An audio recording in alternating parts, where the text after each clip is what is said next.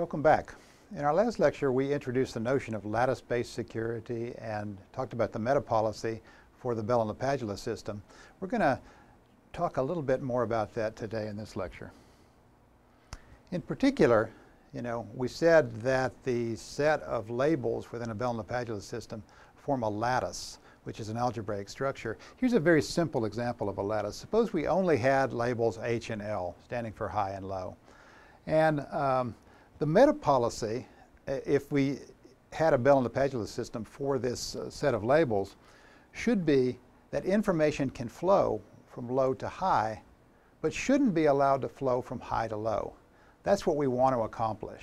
And so we put these rules in place, simple security and the star property, to prevent information from flowing, say from high to low, which is in violation of the meta policy. And what we're going to ask today is, do they do the job? Is there any way in which information could flow from high to low, even if we have those rules in place? Okay, so let's consider a particular system. Uh, that is a, a, set of operations which we might perform in our, in our uh, sort of thought experiment simple BLP system.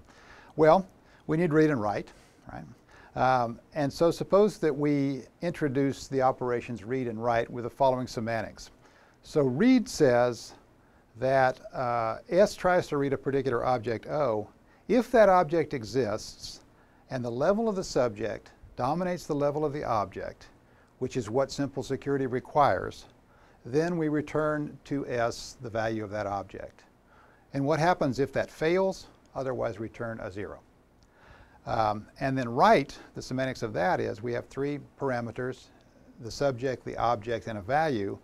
And if the object exists and the level of the subject is dominated by the level of the object, which is what the star property requires, that we change the value of the object to its new value v, otherwise we don't do anything. Now, I think that you can uh, think about these, these uh, operations for a few minutes and convince yourself that they're perfectly reasonable operations from the perspective of Bell and LaPadula. Well, just to make things interesting, let's add two new operations, and these operations are create and destroy, where a subject creates or destroys an object. Right. So what's the semantics of create? Well, uh, the, the creating subject has to specify a name for the object it's creating, and that's O. So here's, here are the semantics. If no object of that name exists anywhere on the system, then create a new object with that name at the subject's level. Seems innocuous. Otherwise, if uh, an object with that name already exists, we don't do anything. Okay, so that's create. Destroy works sort of similarly. If an object with the name O exists and the subject has write access to it, then destroy the object, otherwise don't do anything. Now if you think about these guys, uh, they're a little bit different from read and write, and since you know Bell and LaPadula's rules, simple security and the star property, were explicitly about read and write, we have to stretch our minds a little bit to decide whether these are legal. But they seem to be. They don't seem to violate the, uh, the principles or the, uh, the desired goals of Bell and LaPadula. Okay, but now we have this simple system with four operations that we can perform. Read, write, create, and destroy. So imagine that we write a couple of programs.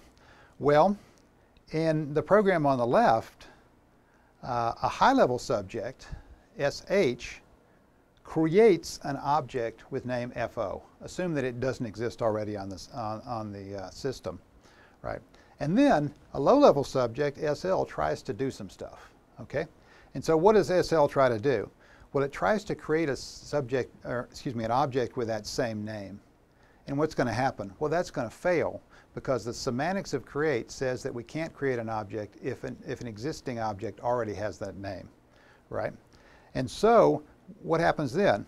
Well, the low-level subject tries to write to that object, and that succeeds actually because there's an existing high-level object and he can write up. So he writes a 1 to it, but then he tries to read that object, and the read fails because the, the object is not uh, accessible for him to read because it's at a higher level. So he gets back a zero, which is the semantics of the read operation, right? Let's look at the other side of this chart, okay? In that case, uh, the high-level subject didn't do anything. He didn't try to create the subject, excuse me, the object. And so when the low-level subject tries to create, his create succeeds.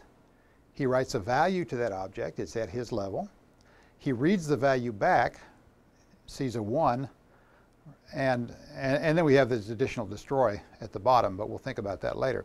Um, but on the left-hand side, the low-level subject, when he tries to do the read, gets a, gets a 0 back. And on the right-hand side, when the low-level subject tries to do the read, he gets a 1 back. So what's the, uh, what's the upshot of this? Well, depending upon what the high-level subject has done, either creating the object or not, the low-level subject sees different values. And so I would claim that by using this mechanism, the high-level subject was able to signal one bit of information to the low-level subject. So, in a sense, who cares, right? It's just one bit of information. But it's a proof of concept that even though we argued that this, our simple system with these four operations satisfies the Bell and LaPadula rules, and from a Bell and LaPadula perspective, it's perfectly legitimate system, nevertheless, there's a flow of information from high down to low. And that shows that there must be something wrong. The other thing to notice is that, yes, they only sent one bit of information, but remember that destroy at the bottom, because in both cases the object was destroyed, they could easily go back and do this again, in fact using the same name. And if they put it in a loop, for example, they could send arbitrary amounts of information over this channel given enough time. Right? So what was going on here? Well, what was happening is that the Bell and LaPadula system, as any access control system, has a, has a very limited notion of how information flows within the system. In particular, the way information flows according to Bell and LaPadula's view, is you write a value into an object and then another subject reads it, right? But that's not what's happening here. We passed a bit of information, but it wasn't the contents of any, of any object that was in question. In fact, if you think about it, the contents of the object were the same on both sides of, of, of the divide, right? what was happening was that, that there was some system attribute which was being manipulated, and in particular it was the level of the, ob, of the object named f sub 0. And so the, the, that bit of information was really residing in the question, can SL read a particular object named O in this case, or FO, I guess.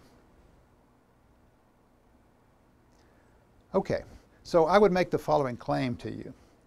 If a low-level subject ever sees varying results depending upon varying actions by a high-level subject, then the two can collude to send a bit of information from high to low using that mechanism.